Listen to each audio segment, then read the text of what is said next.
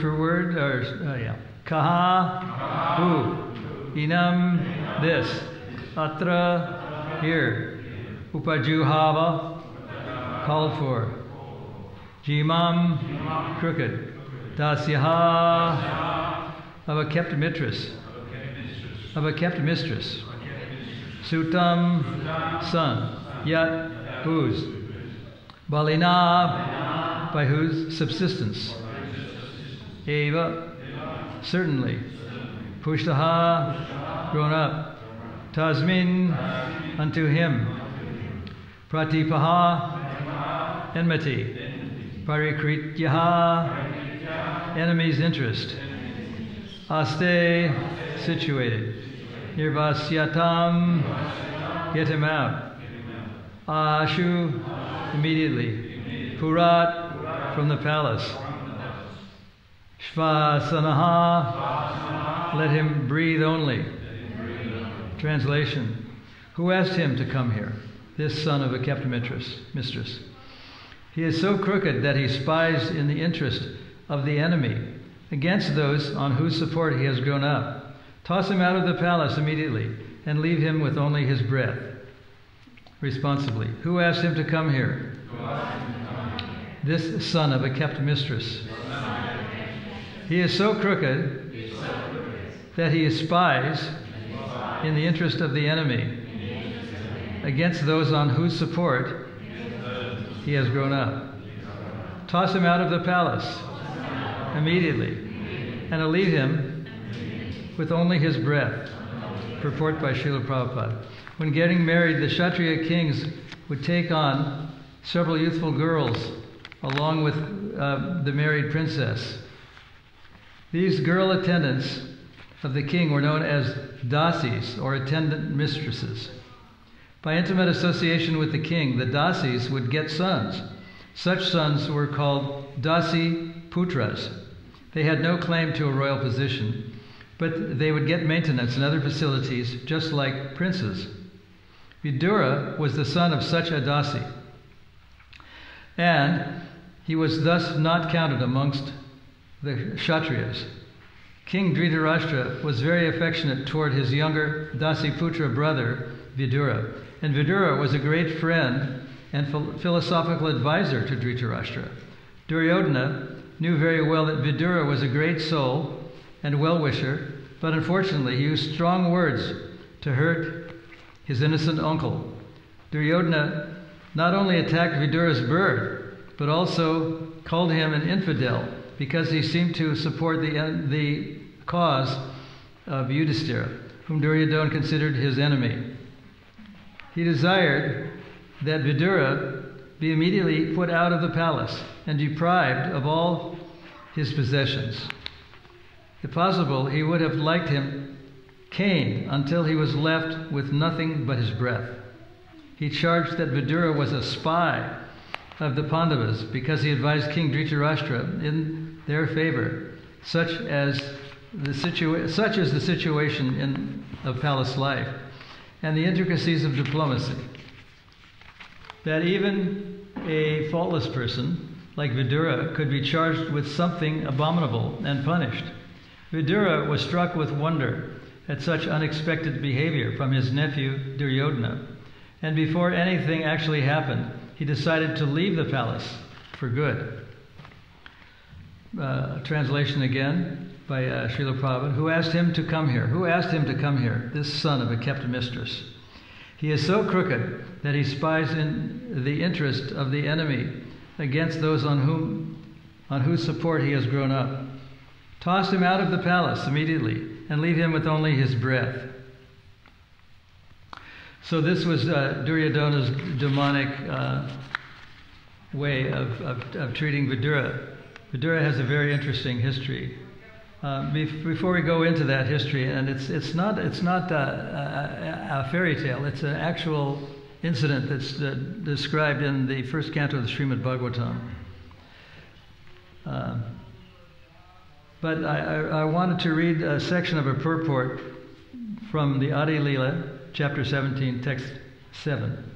This is, this is what Prabhupada writes in the purport. According to Ayurvedic treatment, the entire physiological system is conducted by three elements, namely Vayu, Pitta, and Kapha air, bile, and mucus. Mm, open quote, air, bile, and mucus, close quote. Secretions within the body transform into other secretions like blood, urine, and stool. But if there are disturbances in the metabolism, the secretions turn into kapha, open paren mucus, end paren, by the influence of the air within the body. According to the Ayurvedic system, when the secretion of bile and formation of mucus disturb the air circulating within the body, 59 varieties of diseases may occur. One such disease is craziness. So Prabhupada goes on to explain that uh, Lord Chaitanya said that he acted crazy because he had some uh, dislocation or uh, imbalance of the airs in the body. It's kind of interesting that, that, that even Ayurvedic science had a way of curing mental uh, diseases by medicinal purposes. I saw a photograph in, a, in an article, someone is looking it up, in National Geographic a few years back that looked like it was a man standing in a very large uh, clay flower pot with sand, buried in sand up to his neck. And across his forehead was, was what they called in days of yore a poultice, a, a pack of some kind of medicine. And it was tied around so it would stay there. And it was made out of something that looked like bark. So it was a, a medical treatment to, to uh, cure him of schizophrenia or some kind of bipolar disorder that he had. And it's also somewhat interesting that very, very uh, difficult diseases to diagnose, diseases like migraine, for example, and I know what that is because I have it myself. It's a disease that no one knows where it comes from or how to cure it. Uh, people have even gone so far as to have uh, surgery to, to cure this disease. Uh, and uh, they've done a lot of things, but no one knows the, the, the actual cure for it. But this uh, one devotee, who is presently the, the head of the Strategic uh, Planning Commission, uh, did cure it by using a psychosomatic cure, a type of meditation, which she claims has, has eradicated her migraine uh, disease, which she has had for something like 30 years. She travels around with a, uh, an injection kit of Imigran and uh, takes it across the borders of various countries with the appropriate papers so that it passes. And she gives herself, and she was giving herself an injection in the leg to uh, stop the disease. But she found that, that without any, any uh, use of drugs, it's actually possible to cure this disease. And she swears by this technique, which I, I hope to, to uh, try.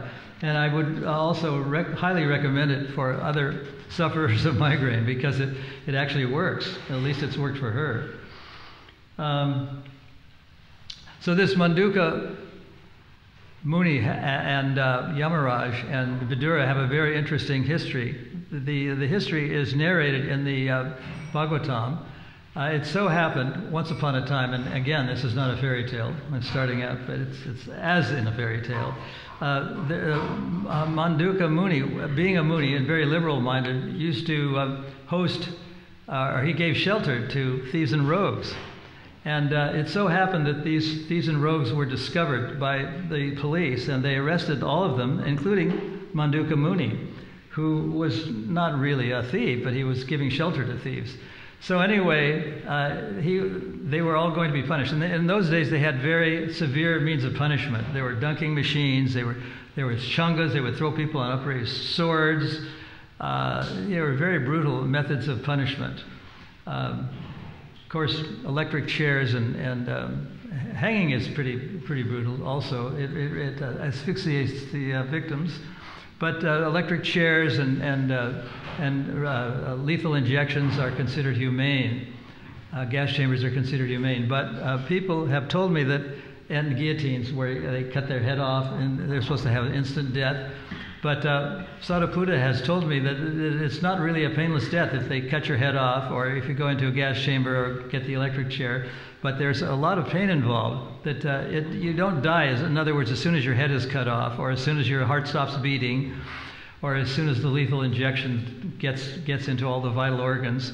but there's a, it's a very painful process. So it seems to be very uh, civil and, and, and very much uh, progressive after, after the dunking machines and the chunga and, other very brutal methods. And they, they used to impale people also. That is, they would uh, uh send a sharpened um, rod up through the, the uh, opening in their rectum, up through their, up into their mouth. It would come out of the mouth or the, the upper part of the back and they would display sometimes the, the, people who got punished like this so they would know not to, not to do it. And they cut sometimes people's hands off, even arms were cut off. I think in, in even recent uh, times there was the uh, punishment of cutting hands off in, in Iran, but that was abolished when the new uh, regime came into, into being. Anyway, these uh, police arrested Manduka Muni along with all the, these rogues, and then he Manduka Muni protested, and he went to Yamaraj to protest. He said that why, why are you punishing me so brutally? I mean, they were going to impale all these people and put up sticks up their rectum. And uh, Manduka Muni uh, cursed Yamaraj. He said, if you're, if you're going to impale me, that's just not proper because I'm a, I'm a Muni, and uh, you know, I've, I've, I've undergone great austerities to uh, achieve what I have, and, and you're, you're about to punish me. So he cursed Manduka Muni, cursed Yamaraj he cursed him to take birth as a Shudra. And that, uh, that Yamaraj became Vidura, according to, to what Prabhupada wrote in this purport in the, in the uh, first canto. And, and as it, it was said, he was the son of a Dasi Putra, uh, uh, of a Dasi, so he became a Dasi Putra. And he was the younger brother of Dhritarashtra. And, and it so happened that he was, his advice to Dhritarashtra was always sanguine, was always good advice because he was an ordinary person, Vidura. He was actually Yamaraj, and Yamaraj has a, a kind of a brain where he could read people's minds, you know, very advanced brain. Uh, like Lord Brahma and Lord Krishna, they're omniscient. They, they know what people are thinking. They're, they're, they're able to read people's minds. So Vidura was like that. But he, when he was asked, and he was also very tolerant, when he was asked to leave the palace, as is described in this verse, uh, as, as Duryodhana asked him to, to uh, depart immediately, uh, and that he should be caned and, and tortured to, and left only with his breath, he, he took it as a blessing and he left immediately. He, he and that's why this, this uh, uh, section that was uh, referred to in the Bhagavatam is called Vidura Leaves Home. And it said that he was a kind of a spy. He was kind of on the Pandava's side, even though he lived in the house of, of Dhritarashtra, and, Dhrita, and Dhritarashtra and Duryodhana uh, sort of condemned him for spying on the very people who gave him his sustenance, who gave him shelter, who gave him food, and looked after him. So, you know, Duryodhana is a very demonic sort of character, and, and that, this is why he said such, such evil things. Uh, so the mind is very powerful. Uh, it was the, the, mind of Vidura was very powerful. He knew the mind of Dhritarashtra and how why Dhritarashtra caused this this war uh, because he was very attached to his sons. He, he wanted the, he wanted to continue to be the king. Uh, and Duryodhana is often referred to the king, even though or a prince, even though he wasn't yet. So the mind is very powerful. And uh, one devotee named Drutakarma wrote a lot about the the power of the mind. Um, well, I once saw a film of a person who was uh, able to break a, a, piece of wood, 50 by 100 centimeters or 2 by 4s or something like that, with, his, with the, the, uh, the flesh of his hand. And uh, according to the uh, slow motion picture, the, the, um, the, the, wood started to break before his hand, hand had uh, even reached it. So this was the power of the mind. The, the uh, martial arts instructor was teaching people how to concentrate the mind to such a degree that it could, it could shatter or break a, a, a very strong piece of wood. So it just shows that how powerful the mind was. And there was a, a devotee, her name was Curie, Madame Curie, a Polish uh, French physicist. I think she won a Nobel Prize, who had these seances in which she uh, exhorted people uh, uh to, to uh, to come forward from the dead, people who were disembodied, sort of like specters or what we would call ghosts. And uh, these things were, were uh, uh, very conveniently relegated to the scrap heap of history, even though they were recorded, and, and she was a very famous physicist. Uh, there, was an, there was a magazine in England called The Unexplained, which talked about things that were documented, unusual occurrences once uh, it rained fishes. Fish rained down from the sky, and this is all documented. And there's a, a, another phenomenon called spontaneous internal combustion, where people just went on fire and disappeared, uh, even at the altar as they were in, in, a marriage ceremony. And there was nothing left but their shoes. All this is recorded, it's all documented, but it has been very conveniently sort of ignored. And, uh, and now we think that everything is getting better. We have good communication, we have good travel, we, we have uh, good medicine, and everything is, is, is improving. Things are always getting better, as the song said. Things are getting better. There was even a popular song called Things Are Getting Better. But they're not getting better. And, and as Prabhupada wrote in the, uh, the introduction to Srimad Bhagavatam, there, things seem to be getting better, but, he said, as he wrote, there's a pinprick in society somewhere. So a pinprick is like a balloon, for example, looks very, very, uh, very beautiful, and, and, it's part of the celebration for having children. But if you prick it with a pin, it just it ceases to exist. It pops and it goes away. So there's a, a pinprick in society at large, and the, the pinprick is that people don't understand that there's life after death, that there's actually a continue, that the soul is eternal. They don't understand that. So, so things have become very uh, conveniently relegated to the scrap heap of history, even though they, they are documented. And there are many documents. Uh, Sadaputa wrote a book called uh, Alien Identities, was the original name of it. It's called something else now.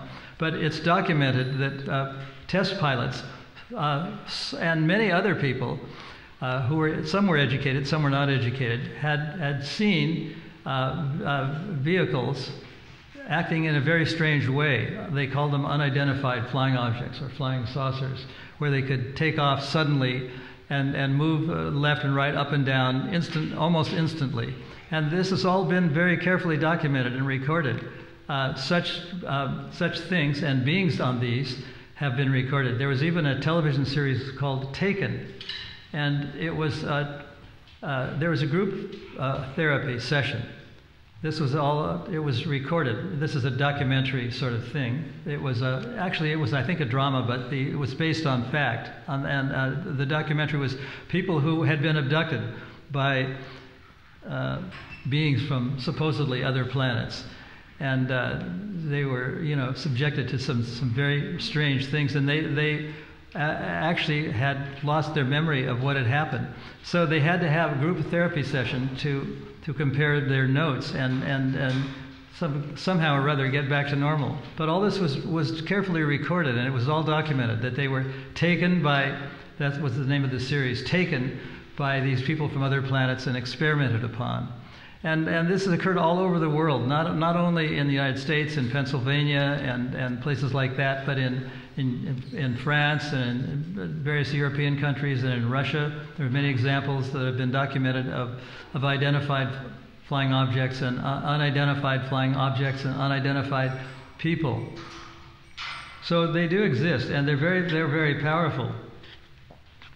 Um, Oh, there's another another uh, uh, science called psychic surgery, and there's a there's a, a film I saw of, of, a psychic surgeon removing a goiter, that's a growth from from a woman's throat without using any kind of anesthesia or any any kind of of, of, of uh, general anesthesia or local anesthesia. And according to the picture, he just does an incision without using any kind of instruments on the throat, and it's all done outside on a on a sort of a gurney or a, a, a, a sort of a we uh, um, what do they call those things like a you push people on yeah like a trolley anyway uh, and, and, he takes out this goiter and and then he he he um, this psychic surgeon from the I think he was from the Philippines uh, closed up the the uh, opening in her throat and and shortly after that she awakens and she she felt no pain at all she just, just uh, it was all done while she was totally conscious.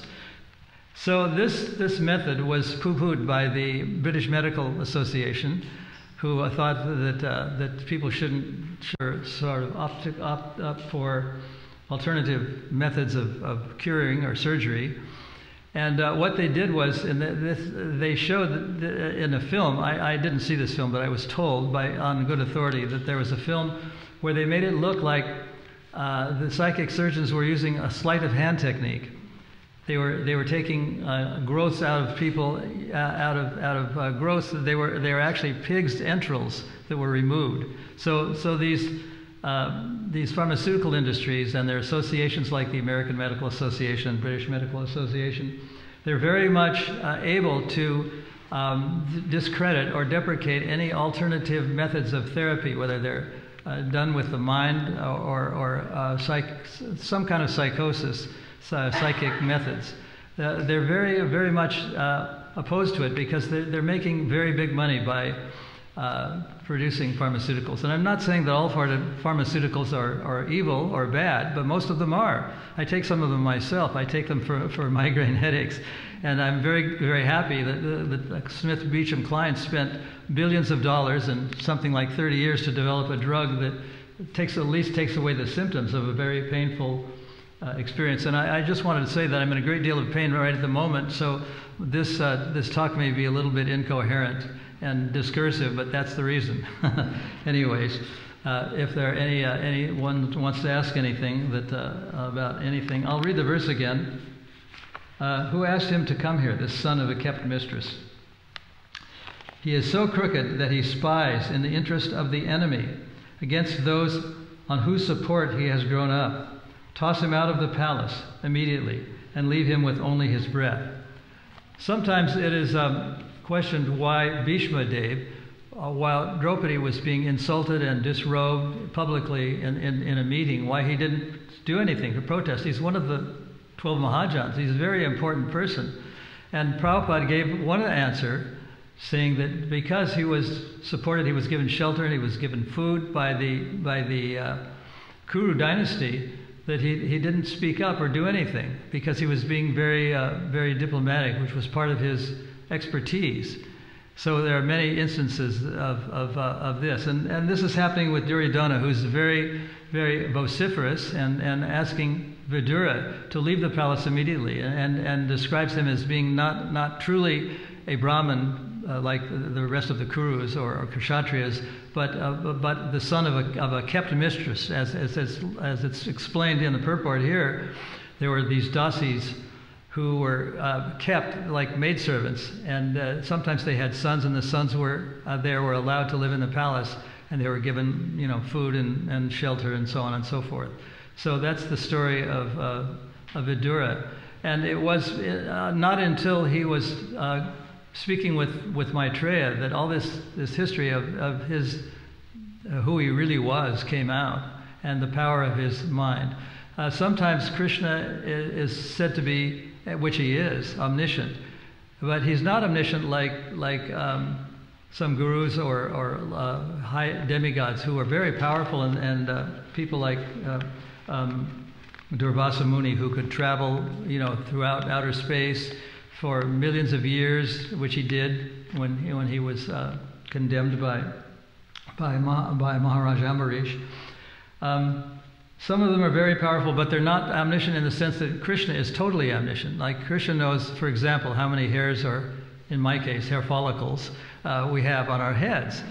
Uh, but we, uh, no one else knows. No one else can say. Maybe Lord Brahma or Lord or, or, or, Yamaraj knows a little bit more, but none of them are omniscient like Krishna is omniscient, knows every single thing in every part of the universe, everything that's going on, and what, what, what our constitutions are, what we're thinking at every moment. That is true omniscience.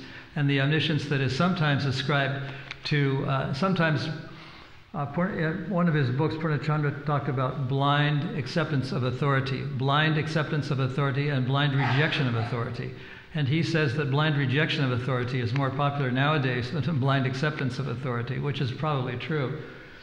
But anyway, this uh, blind acceptance of authority is sometimes found when people think that they're a spiritual leader, uh, uh, uh Shiksha or Diksha, is omniscient, knows everything and everything that he says is always true and always correct and always perfect at all times and all places.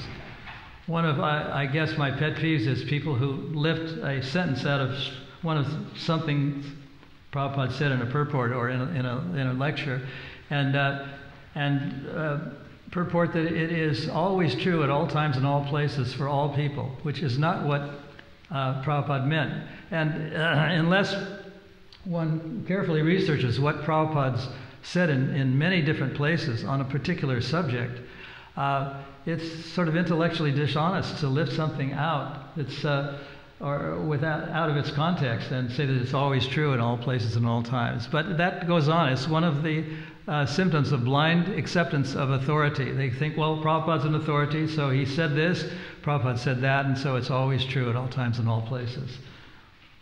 So I see some heads nodding that uh, that's a universally acceptable thing, even though uh, it's being recorded uh, and, and uh, all over the world. I think everyone will agree to it. So if there are any, uh, any comments or questions on any of this, uh, I'll just read the verse once again. Who asked him to come here, the son of a kept mistress? This is again Duryodhana's uh, condemnation of, of Vidura, formerly Yamaraj, in a previous life. He is so crooked that he spies in the interest of the enemy against those on whose support he has grown up. Toss him out of the palace immediately and leave him with only his breath. He was such an expert diplomat that he made it sound as if Vidura was in the wrong, that he was, that he was born of a dasi, that uh, he was being maintained by the, the Kurus, and, and yet he was, he was a spy. Uh, he was spying for, his, for the Kuru's enemies. So a person who is very, uh, very careful, and Duryodhana was a very careful administrator and very expert at diplomacy, could make things sound like they might be right, even when they're totally wrong. That's diplomacy. Or one definition of, of, a diplomat is a person who can tell you to go to hell and so that you look forward to the journey. anyway, I'll, I'll, close with that little joke. Uh, if there's any anyone that wants to ask anything or say anything, yes, Krishna Rupa? The microphone. I want you to be aware that whatever you're saying is, is going to be heard all across the world. And uh, there are people who are going to make it look like you're wrong. That wouldn't be hard. Pardon? In my case, that wouldn't be hard. well, it's not hard in any case. Anyway, uh, I don't know if you're going to be able to get a microphone, but you can speak anyway. Anyway, I was just um, going to make a couple of comments. Um, thank you very much, Maharaj, for the lovely class. Um, you said in the beginning of the class something about um, yoga and how it can cure different, and, and Ayurvedic medicine can cure different diseases quite effectively. And I'm very sorry to hear that you have a migraine at the moment. Um, but I was reading, I have to consult my notes to find out specifically whether it was in Bhagavatam or the Gita, that there's an interesting report that Prabhupada um, wrote about um, Hatha Yoga. He said Hatha Yoga, if performed every day, can mm. actually um, prevent pretty much any disease. And then in the next sentence, he said that um, Hatha Yoga, certain asanas, is also very beneficial for people mental health issues. I mean, he didn't use the term mental health issues, but those are mental um, conditions, because it can balance the life is. And when I read that, I found that very interesting because Prabhupada often didn't encourage us to do asanas or anything like that. I don't know where exactly it's said, but it's obvious that, that uh, the Hatha Yoga has become very popular, partly because it's a cure for many diseases. Uh, there was a, a, a, demonstration by a guy named Iyengar, Iyengar, uh, an Indian man, Iyengar, in somewhere in Bombay, and he was an elderly person. He was in his 60s or 70s, and and uh, he, he gave a demonstration that kind of, because of his vitality and his old age, it kind of indirectly indicated that uh, the, the, of the power of yoga to to uh, to uh, um, bring people to a very vital position, even though they're very aged and, and the ravages of age can be sort of discounted. Uh, so it's a very, very uh, popular and very useful. In fact, I used to practice it myself, Hatha Yoga. I had a book by uh, Swami Vishnu Devananda, and it had pictures of him doing all sorts of strange, unusual poses, and I found that they were very helpful. And I, I think that I've lived to the age of 80 without any serious or terminal diseases, uh, partly because I, I practice Hatha Yoga so carefully. What made you stop Uh, I just kind of got bored. but it, I should have kept on. I mean, I know people that are that are my age that have, still are practicing it, and it's uh, for their for health reasons, and it's very good. Thank you, Mum. I, I did have something else to say, but I'm not going to say it because it might be seen as controversial. Well, you can speak with me after class, and we can talk about it when it's not being recorded.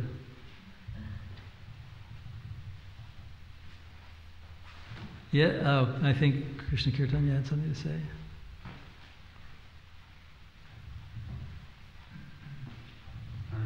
Maharaj. I'm just wondering, like, in the Bhagavatam, we have Bharat Maharaj takes birth as a uh, deity and he's got that full memory. In, in the case of Vidura being Yamaraj, is it, do we know it? Like, has he got access to, does he know he's Yamaraj or is he a completely different personality, Vidura? Because we, we tend to speak to him, speak about him as being Yamaraj, a great soul. So does he take on a completely different personality if he gets his Yamaraj, or is is he Yamaraj inside a body of Vidura? Well, I, my imperfect understanding is that when someone is incarnated, he gets another body, he or she, and uh, it, that that uh, getting another body also means getting another mind. So, in other words, he doesn't necessarily have all the the uh, facilities that Yamaraj had. Like he could read minds and he could carefully uh, record everything that was going on by everybody.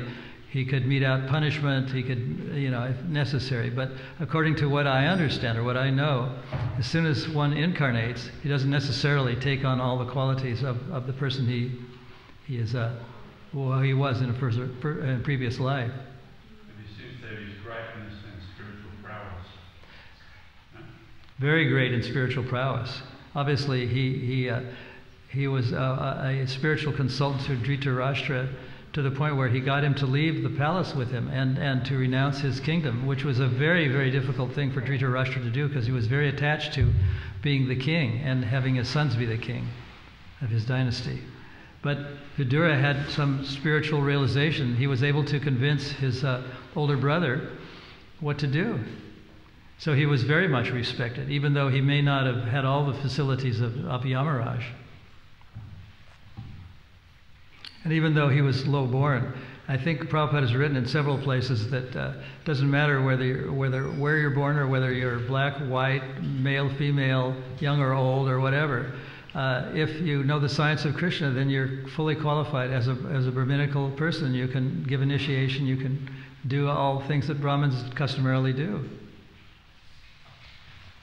Anyways, anything else? So, uh, Krishna Rupa, should we have a little sort of private discussion? Okay. Thank you very much. Srimad Bhagavatam ki jai.